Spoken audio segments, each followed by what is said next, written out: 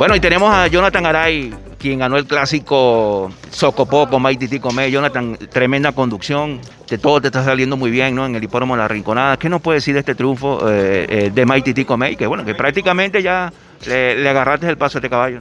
Bueno, súper contento, sí, un caballo que no lo conocía. Este, tuve la oportunidad de briciarlo una sola vez, el caballo me lo hizo muy bien y bueno, este, me entendía a la perfección con el ejemplar.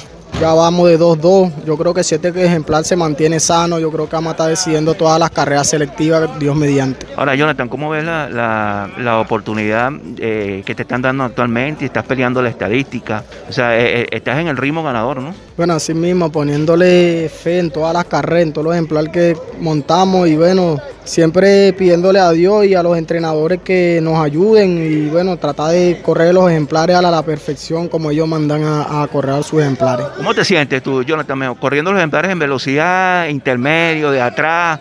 Porque er, eres un jockey enérgico, ¿no? ¿Cómo, te sientes? Porque ya, ya has superado las tres facetas, ¿no? Sí, sí, sí, oye, sí, tiene toda la razón. Es muy difícil, hay que aprender a correr un ejemplar, depende cómo el caballo salga a correr en velocidad o de menos a más. Lo que hay que tener la constancia, la disciplina y bueno, a seguir trabajando para seguir triunfando, ¿no? Así es, Jonathan, ¿cómo va el trabajo con tu agente Franklin Durán? Súper bien, contento, ya que tuve la oportunidad de agarrar a Durán como agente y bueno, se nos ha salido todo bien, hemos estado ahí. Desde el año pasado estamos ganando, nos estamos manteniendo ganando y bueno, con el favor de Dios vamos a seguir triunfando.